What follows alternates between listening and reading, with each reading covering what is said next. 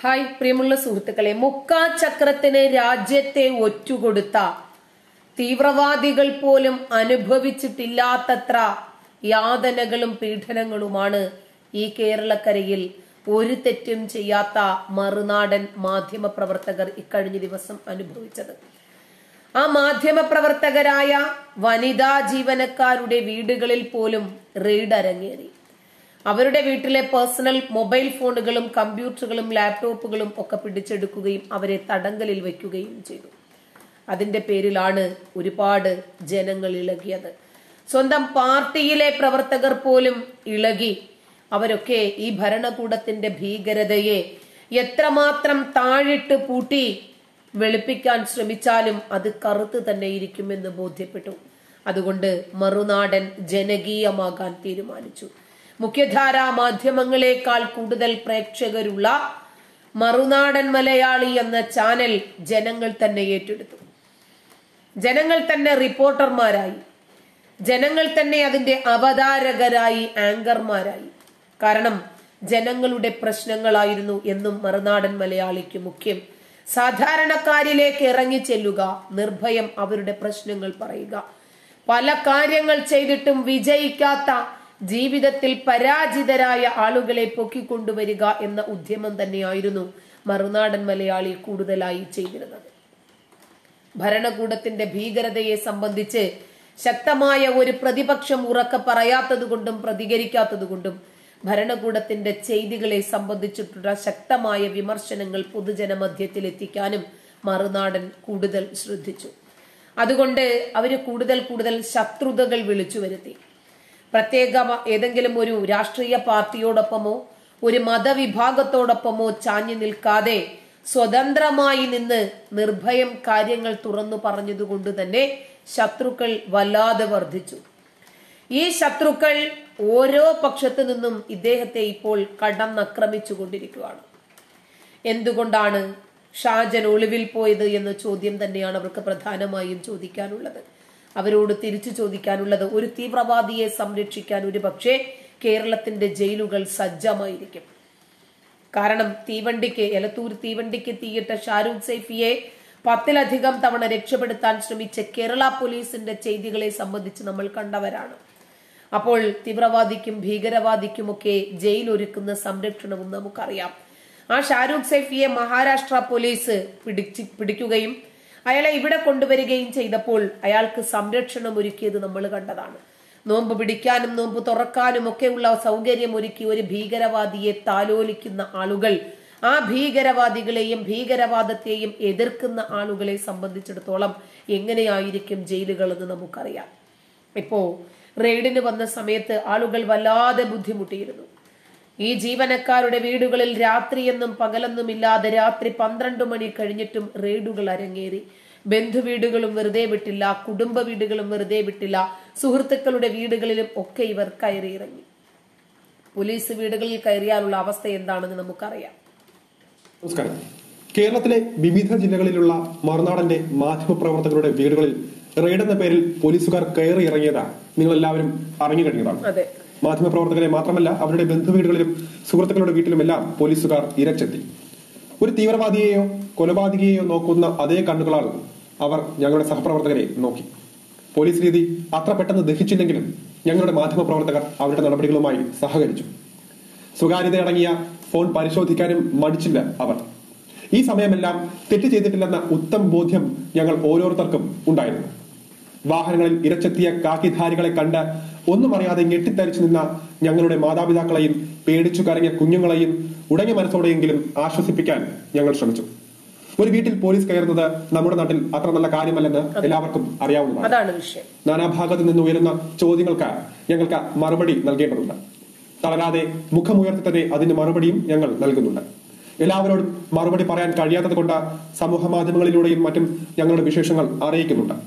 ഞങ്ങളുടെ റിപ്പോർട്ടറായ ശ്രീ പ്രകാശ് ചന്ദ്രശേഖരുടെ ഒരു അനുഭവം ഈ സന്ദർഭത്തിൽ നിങ്ങളുമായി പങ്കുവെക്കുകയാണ് അദ്ദേഹത്തിന്റെ വാക്കുകൾ ഇങ്ങനെയായിരുന്നു. ഈ മാസം മൂന്ന് തിങ്കളാഴ്ച പുലർച്ചെ ആറ് മുപ്പത് വീടിന് മുന്നിൽ ഒരു പോലീസ് വാഹനം നിർത്തുന്നു. ഈ വാഹനത്തിന് അല്പം മുന്നിൽ ഒരു കാറും കണ്ടു. പോലീസ് വാഹനത്തിൽ നിന്നും ആദ്യം ഇറങ്ങിയത് കോതമംഗലം സി ഐ ആയിരുന്നു. പിന്നാലെ ഊന്നുകൾ എസ് ഐ അടക്കം പോലീസുകാരും. സി ഐ അടക്കം എട്ടുപേർ. ഇത് വീട്ടിലെ കിടപ്പമുറിയിൽ നിന്നുള്ള കാഴ്ച. ഉടൻ ഞാൻ മുൻവശത്തേക്കെത്തി. ഞങ്ങൾ എളമക്കര പോലീസ് രജിസ്റ്റർ ചെയ്ത കേസിലെ പിടികിട്ടാപ്പുള്ളി ഷാജൻ സ്കറിയെ അന്വേഷിച്ച് എത്തിയതാണ്. വീടൊന്ന് പരിശോധിക്കണം. കണ്ടപാടെ സി ഐ പറഞ്ഞു. പിന്നാലെ പോലീസ് സംഘം സിറ്റൌട്ടിൽ ബൂട്ടെല്ലാം അഴിച്ചിട്ട വീടിനുള്ളിലേക്ക്. ഇതിനു മുൻപ് ഉദ്യോഗസ്ഥരിൽ ചിലർ വീടിന്റെ പിന്നാമ്പുറത്ത് പരിശോധന നടത്തിയതായി പിന്നീട് ഭാര്യ പറഞ്ഞു തൊട്ടുതലേന്നും മുൻപുള്ള ദിവസവും ഇടവിട്ട പനിച്ചിരുന്നു. ചെറിയ തലവേദനയും തലകറക്കവും പിന്നാലെ അല്പനേരത്തേക്ക് കിള്ളിപ്പോയ അവസ്ഥയും അനുഭവപ്പെട്ടിരുന്നു. എന്തായാലും തിങ്കളാഴ്ച രാവിലെ ഭാര്യയും കൂട്ടി ആശുപത്രിയിൽ പോകാൻ തീരുമാനിച്ചിരുന്നു. ഈ സാഹചര്യത്തിലാണ് റെയ്ഡ് നടത്താൻ പോലീസ് സംഘം എത്തുന്നത്. വന്നപാടെ സി ഐ കിടപ്പമുറിയിലെ മേശപ്പുറത്ത് ഓണാക്കി വച്ചിരുന്ന ലാപ്ടോപ്പ് അവിടെ ഇരുന്ന എന്റെ മൊബൈൽ ഫോൺ എന്നിവ പരിശോധിച്ചു. ശേഷം കൂടെയുണ്ടായ പോലീസുകാരനെ വിളിച്ച ഇവ കസ്റ്റഡിയിലെടുത്തതായി രേഖപ്പെടുത്താൻ നിർദ്ദേശിച്ചു. ഇതിനിടയിൽ റെയ്ഡിന്റെ പുരോഗതി അറിയാൻ സി ഐയുടെ ഫോണിലേക്ക് വിളികളും എത്തുന്നുണ്ടായിരുന്നു. ഷാജൻ കറിയെ അവസാനമായി കണ്ടത് എന്നാണ് ഫോണിൽ വിളിക്കാറുണ്ടോ പ്രതിഫലം ലഭിച്ചിരുന്നത് എങ്ങനെയെന്ന് തുടങ്ങി കുറെ ചോദ്യങ്ങൾ സി ഐ എന്നോട് ചോദിച്ചു. എല്ലാത്തിനും കൃത്യമായ മറുപടി നൽകി. സി ഐ ഇതെല്ലാം ഒരു പേപ്പറിൽ പകർത്തുന്നുണ്ടായിരുന്നു. ഇതിനിടയിൽ പോലീസിന് ഒപ്പമെത്തിയ ഫോട്ടോഗ്രാഫർ പല ആംഗിളിൽ നിന്നും ചോദ്യം ചെയ്യൽ പകർത്തുന്നുണ്ടായിരുന്നു. ഇതിനിടയിൽ രാവിലെ ഭാര്യ കൊണ്ടുതന്ന കട്ടൻ കുടിക്കാനും മറന്നുപോയി. സി ഐ കിടപ്പമുറിയിൽ വച്ച എന്റെ മൊഴിയെടുക്കുമ്പോൾ ഹാളിൽ വനിതാ പോലീസ് ഉൾപ്പെടുന്ന സംഘം വീടിന്റെ വിസ്തൃതിയും മുറി സൗകര്യങ്ങളും അതിർത്തികളും മറ്റും ഉൾക്കൊള്ളിച്ച വിശദമായ മേസർ തയ്യാറാക്കുന്നുണ്ടായിരുന്നു. ഏതാണ്ട് പത്ത് മണിയോട് അടുത്തായി കാണും.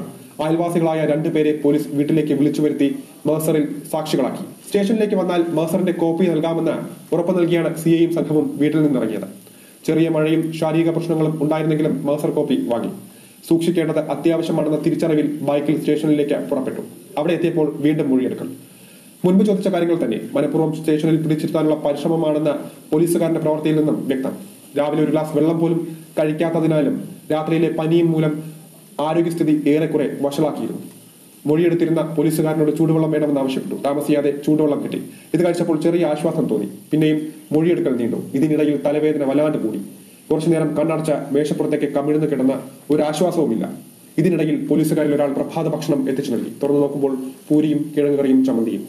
ചമ്മന്തി കൂട്ടി ഒരു പൂരി കഴിച്ചു. പനി ഉള്ളിൽ ഉണ്ടായിരുന്നതിനാലാവാം പെട്ടെന്ന് ഛർദ്ദിക്കാൻ വരുന്നത് പോലെ തോന്നി. ഉടൻ കാറ്റും വെളിച്ചവുമുള്ള സ്റ്റേഷന്റെ മുൻവശത്തെ കസേരയിൽ പോയിരിക്കാൻ പോലീസ് ഉദ്യോഗസ്ഥന്റെ അനുമതി തേടി. ആ ഉദ്യോഗസ്ഥൻ എന്റെ അവസ്ഥ കണ്ടിട്ടാവണം ഇതിന് അനുവദിച്ചു. ആശുപത്രിയിൽ പോകണമെന്ന് ആവർത്തിച്ച് ആവശ്യപ്പെട്ടപ്പോൾ ഡോക്ടറെ കാണാൻ ചീട്ടെടുത്തിട്ടുണ്ടോ? ഉണ്ടെങ്കിൽ അതിന്റെ കോപ്പി വാട്സാപ്പിൽ നൽകാൻ പോലീസ് ഉദ്യോഗസ്ഥൻ ആവശ്യപ്പെട്ടു. ഈ സമയം കോതമംഗലം ബസേലിസ് ആശുപത്രിയിലെത്തി ഡോക്ടറെ കാണാൻ ചീട്ടെടുത്തിരുന്നു. ഒപ്പമുണ്ടായിരുന്ന മകൻ അഭിജിത്ത് ഈ പോലീസുകാരന്റെ ഫോണിലെ വാട്സാപ്പിലേക്ക് ചീറ്റിന്റെ ഫോട്ടോ എടുത്ത് അയച്ചു. ഇത് ഈ ഉദ്യോഗസ്ഥൻ അപ്പോൾ തന്നെ മുതിർന്ന ഉദ്യോഗസ്ഥരിൽ ആർക്കോ അയച്ചു കൊടുത്തു. സാർ പറയട്ടെ എന്നിട്ട് വിടാമെന്നും ഈ ഉദ്യോഗസ്ഥൻ അറിയിച്ചു. സ്റ്റേഷന്റെ മുൻഭാഗത്ത് സ്ഥാപിച്ചിരുന്ന കസേരയിലാണ് പിന്നീട് കുറച്ച് സമയം ഇരുന്നത്. ഏകദേശം ഒരു പത്ത് മിനിറ്റായി കാണും. രണ്ട് കൈകളുടെയും മുട്ടിന് കീഴ്പോട്ട് നന്നായിട്ട് മരവിപ്പ് അനുഭവപ്പെടാൻ തുടങ്ങി. ഇതിനൊപ്പം ശ്വാസഗതിയും വർദ്ധിച്ചു. വിഷമാവസ്ഥ കണ്ട് പോലീസുകാരിൽ ചിലർ ഓടിയെത്തി കുടിക്കാൻ വെള്ളം നൽകുകയും കൈ തിരുമി ചൂട് പകരുകയും ചെയ്തു. എന്റെ അവസ്ഥ തിരിച്ചറിഞ്ഞതിനാലാവണം മകന്റെ മൊബൈൽ നമ്പറിൽ വിളിച്ച പോലീസുകാരിൽ ഒരാൾ ഉടൻ സ്റ്റേഷനിലെത്താൻ നിർദ്ദേശിച്ചു. ഏതാണ്ട് അരമണിക്കൂറിനകം മകനെത്തി. അവനെ പോലീസുകാരൻ അകത്തെ മുറിയിലേക്ക് വിളിപ്പിച്ച് ഏതോ പേപ്പറിൽ ഒപ്പിടിയിപ്പിച്ചു. പിന്നെ എന്നെ ഒപ്പം പറഞ്ഞു വിട്ടു. ആശുപത്രിയിലെത്തിയ പാടെ കാഷ്വാലിറ്റിയിൽ ചികിത്സ തേടി. ക്ഷീണം കണക്കിലെടുത്ത ഉടൻ ഗ്ലൂക്കോസ് ഇട്ടപ്പെട്ടു പിന്നീട് വിശദമായി നടത്തിയ ടെസ്റ്റിൽ മൂത്രത്തിൽ പഴുപ്പ് നന്നായി കൂടിയിരിക്കുകയാണെന്നും ഇത് രക്തത്തിലേക്ക് കൂടി കലർന്ന സ്ഥിതിയാണെന്നും സ്ഥിരീകരിച്ചു. ആന്റിബയോട്ടിക് ഇഞ്ചക്ഷൻ തിങ്കളാഴ്ച തന്നെ തുടങ്ങി. ഇപ്പോൾ ആരോഗ്യസ്ഥിതി മെച്ചപ്പെട്ടു വരുന്നു. ഇന്നോ നാളെയോ ആശുപത്രി വിടാൻ കഴിയുമെന്നാണ് കരുതുന്നത്. ഇതിനൊരു പിന്നാമ്പുറവും അദ്ദേഹം നൽകിയിട്ടുണ്ടായിരുന്നു. തലേന്ന് കാറിലെത്തി പോലീസുകാർ എന്റെ അയൽക്കാരിൽ ഒരാളെ കണ്ട കൃത്യമായി വീട് ചോദിച്ച് മനസ്സിലാക്കിയിരുന്നു. ലാപ്ടോപ്പും മൊബൈലും പോലീസ് കസ്റ്റഡിയിൽ എടുത്തതോടെ പത്രപ്രവർത്തനം പാടെ നിലച്ചു. റെയ്ഡിനെ കുറിച്ചും തുടർന്നുള്ള ആശുപത്രിവാസത്തെക്കുറിച്ചും അഭ്യൂഹങ്ങൾ പ്രചരിക്കപ്പെടുന്നതായി ബോധ്യപ്പെട്ട സാഹചര്യത്തിലാണ് ഈ കുറിപ്പ് ഇവിടെ പങ്കുവച്ചിട്ടുള്ളത്. ശരിയാണ്. ഏകദേശം അറുപത് കുടുംബങ്ങളെയാണ് ഈ റെയ്ഡ് ബാധിച്ചത്.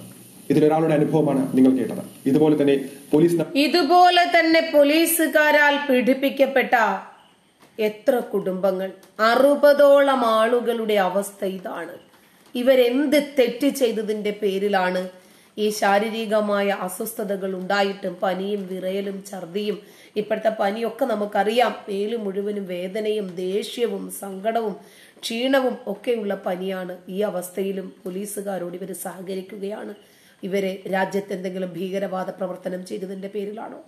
തീവ്രവാദിയായതിന്റെ പേരിലാണോ? രാജ്യത്ത് എന്തെങ്കിലും സ്ഫോടനം പ്ലാൻ ചെയ്തതിന്റെ പേരിലാണോ? രാജ്യം വിട്ട് തീവ്രവാദ പ്രവർത്തനങ്ങൾക്ക് പോകാൻ ഐസിസിലേക്കോ മറ്റോ ആരെയെങ്കിലും റിക്രൂട്ട് ചെയ്തതിന്റെ പേരിലാണോ? തീവണ്ടിക്ക് തീയിട്ടോ? സ്കൂളുകൾക്ക് തീയിട്ടോ കുട്ടികളെ തട്ടിക്കൊണ്ടുപോയോ ആരെയെങ്കിലും ബലാത്സംഗം ചെയ്തോ ആരെയെങ്കിലും കൊല്ലാൻ ശ്രമിച്ചോ ഭീഷണിപ്പെടുത്തിയോ കുട്ടികളെ ബലാത്സംഗം ചെയ്തോ കുട്ടികളെ തട്ടിക്കൊണ്ടുപോയോ? എന്ത് ചെയ്തതിന്റെ പേരിലാണ് ഒരു ക്രൂരകൃത്യവും ചെയ്യാതെ ഒരു തെറ്റും ചെയ്യാതെ ഒരു സത്യം ആ സ്ഥാപനത്തിന്റെ ചീഫ് ആൻഡ് എഡിറ്റർ തുറന്നു പറഞ്ഞതിന്റെ പേരിൽ ആ സ്ഥാപനത്തിലുള്ള മുഴുവൻ ആളുകളും ഇങ്ങനെ പീഡിപ്പിക്കപ്പെടുന്നത് കേരളത്തിൽ ആദ്യത്തെ സംഭവമായിരിക്കില്ലേ? ഇന്ത്യയിൽ ആദ്യത്തെ സംഭവമായിരിക്കില്ലേ? ലോകത്തിന്റെ ചരിത്രത്തിൽ തന്നെ ഒരുപക്ഷെ ആദ്യത്തെ സംഭവം തന്നെ ആയിരിക്കില്ലേ? ഇത് ഇത് ഭരണഘടനാ വിരുദ്ധമാണ്. ഇത് ജനാധിപത്യ വിരുദ്ധമാണ്. ഇത് മനുഷ്യാവകാശ ലംഘനമാണ്. എന്തുകൊണ്ടായിരിക്കും കൂടുതൽ എതിർപ്പുകൾ വരാത്തത് എന്നറിയില്ല. വരും ദിവസങ്ങളിൽ കൂടുതൽ ആളുകൾ പ്രതികരിച്ച് മുന്നോട്ട് വരുമെന്ന് തന്നെയാണ് പ്രതീക്ഷിക്കുന്നത്. നന്ദി.